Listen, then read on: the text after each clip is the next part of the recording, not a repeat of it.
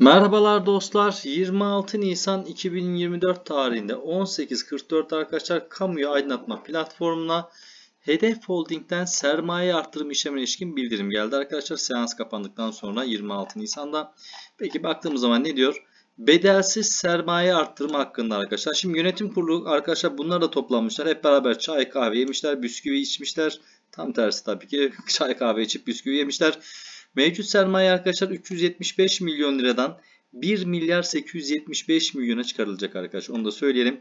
Peki burada yapılması gereken arkadaşlar %400 arkadaşlar iç kaynaklardan bedelsiz pay alma şeklinde arkadaşlar bunu gerçekleştirme ihtimalleri var. Tabi bununla ilgili ne yapıyorlar arkadaşlar? SPK'ya başvuruyorlar. SPK onay veriyorsa sıkıntı yok. SPK arkadaşlar onay vermiyorsa tabii ki o zaman reddoluyor ama şu anda sürecin daha yeni başında. Yönetim kurulu karar verdikten sonra arkadaşlar bazen 2-3 haftada bazen de 3-5 ayda buna karar veriyor. Artık piyango ne zaman çıkarsa ama küçük yatırımcı bedelsiz sermayesini arttırmanı sevdiği için arkadaşlar çünkü cebinden 5 kuruş para çıkmıyor.